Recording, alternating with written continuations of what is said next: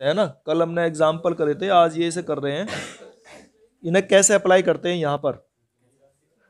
तो are equal to ये दिया हुआ है। ए सेट तो ये दिया हुआ है। आर ये रिलेशन है। देखो, जो इस इक्वेशन को सेटिस्फाई करता हो, उनके पेयर एक साथ करने हैं। कल भी बताया था क्रॉस प्रोडक्ट तो ए क्रॉस ए होती है जैसे वन का वन इनके सबके साथ में प्रोडक्ट हो जाती है। लेकिन रिलेशन में जो कंडीशन ही देता है हमें उस कंडीशन को फॉलो करना है, उसे मानना है। उसके अकॉर्डिंग इसमें से एलिमेंट लेने हैं। तो जैसे इसमें रख रख के देखेंगे, देखो। इनमें से कोई सा रखना है ज़ीरो आना चाहिए। या इसे और थोड़ा सा हल करें तो इसे लिख सकते हैं हम three X equal to Y चाहे ऐसे कर लो। ठीक है? अब हम इसमें रख के देखते हैं, देखो। आर सेट बनाएँगे। आर सेट के अंदर हम कौन से एलिमेंट लेंगे? तो एक्स की वैल्यू जैसे अगर वन रखते हैं हैं? तो वाई की वैल्यू क्या आएगी? यहाँ रखो एक्स की वैल्यू वन तो वाई की वैल्यू क्या जाएगी थ्री तो ये इसके साथ पेयर कर जाएगा। या ऐसे रख लो एक्स की वैल्यू यहाँ रख लो तो वाई की वैल्यू क्या रखें कि ज़ीरो आ जाए। जो इस इक्वेशन को सेटिस्फाई करते हो, कल भी हमने बताया था कि हमने एक रिलेशन बनाया था, वो राम, लक्ष्मण, भरत, शत्रुघ्न और उनकी माताओं के नाम के साथ में।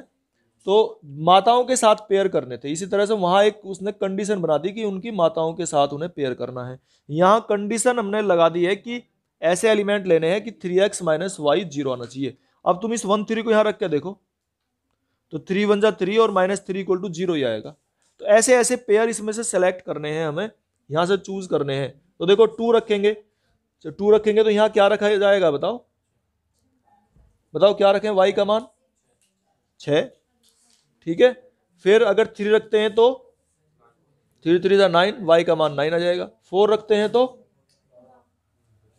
कितना आ जाएगा? ट्वेल्व और फाइव रखते हैं तो? और फिफ्टीन इसमें है ही नहीं। जब फिफ्टीन है ही नहीं तो उसे तो हम लेंगे नहीं। इसका मतलब फाइव हम नहीं रख सकते। इससे ज़्यादा इसमें एलिमेंट आ ही नहीं सकते। ठीक है?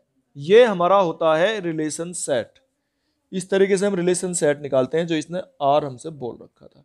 अब इसमें बनाते हैं हम डोमेन कोडोमेन और रेंज वो क्या क्या होते हैं? प्रांत, है ना? डोमेन। प्रांत जो पूछता है, उसे बोलते हैं हम इंग्लिश में डोमेन।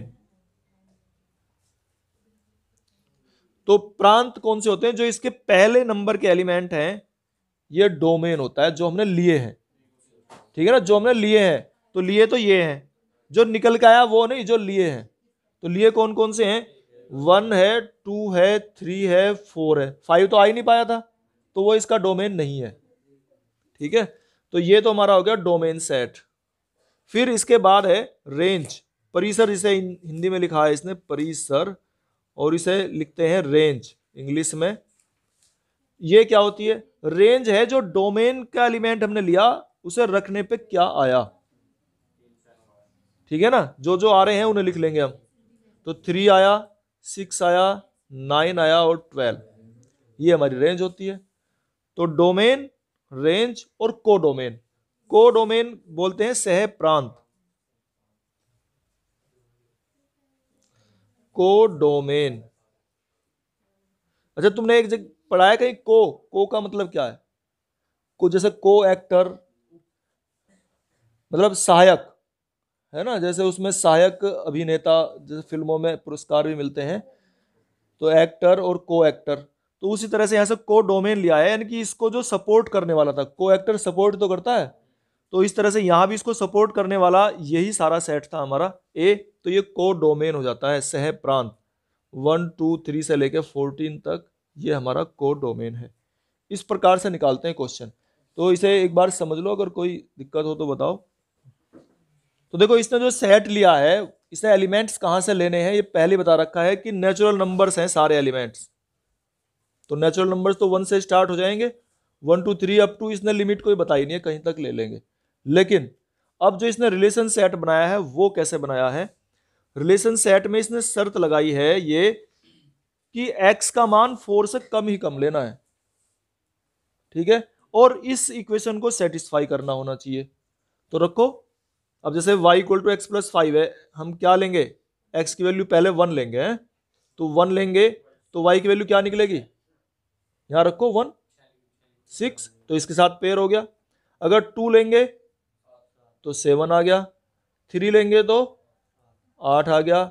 और फोर से कम लेने हैं, यानी कि फोर तो लेना ही नहीं है। ठीक है, अगर ये इक्वल का निशान लगा देता तो हम लेते वहाँ तक भी। तो ये रिलेशन सेट बन गया हमारा। ठीक है, और अब इसमें वो सारी चीज़ भी हमें देखनी है। डोमेन बताओ डोमेन क्या होगा। डोमेन जो हमें पहले नंबर के एलिमेंट लिए होते हैं, वो हमारा डोमेन है। और ये सेट बनाते हुए ध्यान रखना है, कभी वैसे लगा दो ब्रैकेट का निशान। डोमेन हो गया, फिर रेंज क्या होगी इसकी? रेंज हो जाएगी सिक्स सेवन और एट रेंज होगी, फिर को डोमेन क्या हो गया? वन टू थ्री ये नेचुरल नंबर का सेट हो गया सारा। ठीक है? इसमें हमें आर सेट जो है, वो आर निकालना है, इस तरह से बनाना है कि एक्स और वाई का जो डिफरेंस है, ये एक्स और वाई इनका जो डिफरेंस है वो ओड नंबर है। तो बताओ पेयर करो, किस किस को किसके साथ करोगे? एक को चार के साथ करेंगे, क्योंकि इनका डिफरेंस हो गया थ्री जो कि ओड नंबर है। फिर एक को छह के साथ भी कर लेंगे, और एक को नाइन के साथ पेयर नहीं करेंगे, क्योंकि उसका डिफरेंस जो है एट आता है, जो एक इवन नंबर है। ठीक है। फिर टू के साथ नाइन पेयर होगा, बिल्कुल ठीक है। थ्री के साथ फोर हो जाएगा और बस थ्री के साथ सिक्स भी होगा। ठीक है? आगे चलो। और क्या हो सकता है? बोलो। फाइव वाले के फाइव के साथ फोर भी हो जाएगा और फाइव के साथ सिक्स भी हो जाएगा। बस। तो ये इस तरीके से बन जाते हैं और यही हमें बताना था इसमें। ठीक है? तो फाइव की इमेज थ्री पे है सिक्स की फोर पे है और सेवन की फाइव पे है। अगर इसे हम ध्यान से देखते हैं तो फाइव और थ्री का डिफरेंस जो है वो टू है। है ना? इसका डिफरेंस भी टू है, इसका डिफरेंस भी टू है। तो इसे अगर हम सेट बिल्डर फॉर्म में लिखते हैं तो कैसे लिखेंगे समुच निर्माण विधि, बताओ। आर इक्वल टू ये लिखेंगे एक्स वाई ठीक है? Is such that X minus Y ठीक है ना? इक्वल टू टू और X belongs to a set इसको हम पी क्या रखा है इसने पी और इसको क्या रखा है क्यू। ठीक है ना? ये तो पी है और ये क्यू है।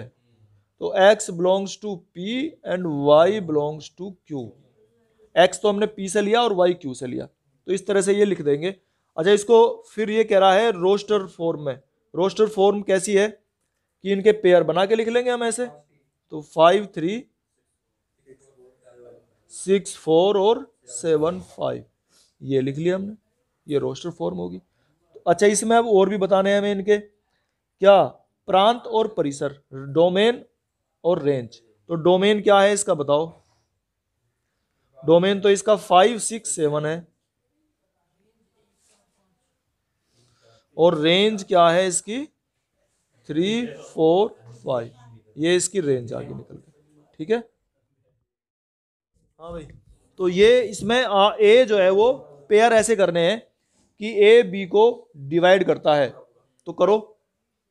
बनाओ। पहला एलिमेंट क्या होगा? वन वन को डिवाइड करता है, ठीक है। फिर वन टू को भी करेगा। थ्री को भी करेगा। फोर को भी करेगा। फाइव को भी करेगा और सिक्स को भी करेगा। ठीक है, ये हो गए। इसके बाद पाँच ना इसमें? चलो, पाँच नहीं है तो पाँच नहीं लिखेंगे भाई। ठीक है, पाँच हम हटा देंगे ये। ये इसमें नहीं लिखेंगे। चलो, ये तो वन के साथ अब टू टू देखो टू फोर को करता है, फिर टू सिक्स को करता है। ठीक है? और टू टू को भी करेगा। इसे भी लिखो भाई। टू टू वाला भी लिखेंगे हम। चलो, अब थ्री के लिए लिखो। थ्री थ्री लिखेंगे। और थ्री सिक्स लिखेंगे। ठीक है? उसके बाद फोर फोर लिखेंगे। और सिक्स सिक्स लिखेंगे। अच्छा अब ये हमसे पूछता है इसमें, ये तो रोस्ट रूप में लिख दिया आर आर का प्रांत बताओ। तो प्रांत में यानी कि डोमेन ठीक है, इसका डोमेन बताओ। तो डोमेन में जो हमें पहले वाले एलिमेंट है, वो डोमेन है। तो सारे आ रहे हैं? एक, दो, तीन भी आ रहा है, चार भी आ रहा है, छह भी आ रहा है। तो वन टू थ्री फोर और सिक्स ये तो हो गया हमारा डोमेन ये डोमेन है। ठीक है? और फिर पूछता है, इसकी रेंज पूछ रहा है। रेंज ऑफ़ आर रेंज में जो एलिमेंट हमारे रखने पे आए हैं। तो ये भी सारे आ रहे हैं? तो रेंज भी हमारी वही हो जाएगी। One two three four six ये डोमेन निकल गया रेंज निकल गया और आर का वो निकल गया। तो देखो, इसमें हम जो है, जब पेयर करेंगे, इन्हें पेयर करके बनाना है, इसने रिलेशन तो अपने आप बना के दिया ही था। तो एक्स की वैल्यू रखेंगे हम ज़ीरो यहाँ ज़ीरो प्लस फाइव कितना हो गया? फाइव? एक पेयर हो गया। फिर वन रखेंगे। वन रखने पे वन प्लस फाइव कितना हो गया? सिक्स लेकिन, अब ये भी तो ध्यान रखना है। इसने दिया नहीं है ऐसा कुछ भी। अच्छा टू रखने पे सेवन यहाँ पे। फिर थ्री रखने पे एट फोर रखने पे नाइन ठीक है? फाइव रखने पे टेन और बस फाइव तक ही है। तो ठीक है। अब इसमें हमें बताना है डोमेन इसका डोमेन बताना है। तो डोमेन क्या होंगे? ये जो पहले वाले नंबर के एलिमेंट हैं, सारे लिए हमने। तो डोमेन यही हो जाएगा zero one two three four और फाइव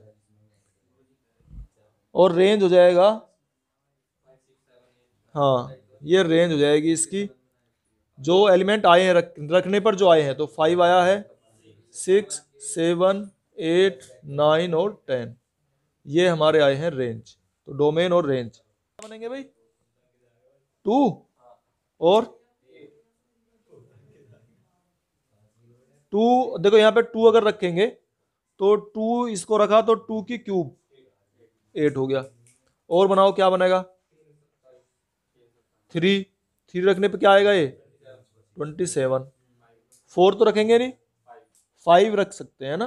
क्योंकि फाइव प्राइम नंबर है। तो फाइव और फाइव का कितना आ गया? वन ट्वेंटी फाइव उसका क्यूब सिक्स नहीं रखेंगे सिक्स प्राइम नहीं है। सेवन प्राइम है। तो सेवन रखेंगे तो सेवन का क्यूब कितना हो गया? तीन सौ तैतालीस थ्री फोर्टी थ्री ठीक है? फिर एट प्राइम नहीं है। नाइन प्राइम नहीं है। और बस टेन तक रखना ही था हमें। ठीक है ना, इसने बता रखी है पहले कि टेन से कम है। इसमें नंबर ऑफ़ एलिमेंट्स हैं थ्री और इसमें नंबर ऑफ़ एलिमेंट्स हैं टू तो अगर ए में थ्री है या इस ए में कहते हैं एम है और इसमें एन है तो इसमें रिलेशंस की संख्या जो है वो फॉर्मूला है नंबर ऑफ़ रिलेशन ये है two to the power M N M multiply N ये इसका फॉर्मूला है। ठीक है ना? कितने संबंध बन सकते हैं? वो इस तरह से टू की पावर एम एन तो यहाँ पे जैसे एम की वैल्यू थ्री है और यहाँ एन की वैल्यू टू है तो कितने हो जाएँगे इसमें? टू की पावर थ्री मल्टीप्लाई टू यानी कि टू टू दावर सिक्स ये हो जाएँगे नंबर ऑफ़ रिलेशन ये पता करना है जेड क्या होता है बताओ? जेड इंटीजर्स का सेट है, पूर्णांक संख्याएँ। कौन सी होती है पूर्णांक संख्याएँ? हाँ है ना? थोड़ा सा ये इसके बारे में भी जानकारी तुम्हें ज़रूर हो जानी चाहिए। ये इंटीजर्स का सेट है zero, one, two, three, four और इधर minus one minus two minus three इधर से ऐसे। तो ये इंटीजर्स का सेट होता है पूर्णांक संख्याएँ। इसमें प्लस माइनस ज़ीरो सारी होती हैं ये। अब इसने रिलेशन सेट बनाया है और रिलेशन सेट बनाया है इस तरीके से कि ए और बी दोनों जेड से लेने हैं ना ये? जेड का एलिमेंट है ये। ए और बी यानी कि इसमें से लेने हैं, इसने बिलोंग्स टू जेड का मतलब ये लिखा है। इसमें से अलग इससे अलग नहीं होने चाहिए, यानी कि पॉइंट वाले ना हो फ्रैक्शन वाले जो भिन्न में होते हैं वो ना लिए जाएँ। और उनका जो अंतर है, वो भी एक इंटीजर ही होता हो। तो इनमें से अगर हम कोई भी लेंगे, कोई भी नंबर लेंगे, उनका डिफरेंस तो इंटीजर ही होगा। तुम किसी को भी देखो टू और इसका डिफरेंस क्या आएगा? टू और वन का डिफरेंस वन आ गया टू का और माइनस टू का डिफरेंस फोर आएगा। टू का और माइनस थ्री का डिफरेंस फाइव आएगा। कोई भी नंबर लो, चाहे माइनस में भी आ जाओ, देखो इधर से इधर को वो करो difference minus two, minus one, कितना हो जाएगा माइनस थ्री? वो भी तो एक इंटीजर ही है। तो तुम चाहे कितना भी बड़ा लो, जैसे हंड्रेड में से हम नाइन्टी माइनस करते हैं तो टेन आ गया, वो भी तो एक इंटीजर ही है है ना? तो इसमें कोई भी अगर इंटीजर लेंगे तो उसका जो डिफरेंस होगा, वो एक इंटीजर ही होगा। तो इसका मतलब है, अब हमें इसमें आर सेट नहीं बनाना, बल्कि क्या बताना है? कि डोमेन और रेंज तो डोमेन क्या होगा? डोमेन सेट डोमेन सेट क्या होगा उसका बताओ? प्रांत। यही हो जाएगा सारा। जेड सेट और रेंज इसके एलिमेंट लेंगे तो इसी के एलिमेंट निकलेंगे ए माइनस बी से। ठीक है तो ये इस तरह से रेंज जो है रेंज सेट परिसर, जो इसका परिसर है, वो भी हमारा जेड ही होगा। दोनों हमारे जेड ही निकलेंगे। भाई इंटीजर्स का दो इंटीजर को अगर घटाते हैं तो इंटीजर ही आता है निकल के। कोई सा भी ले लो, कितना भी बड़ा, चाहे कितना भी छोटा प्लस या माइनस कोई भी नंबर लोगे तो हमेशा डोमेन भी जेड ही रहेगा और रेंज भी जेड ही रहेगा।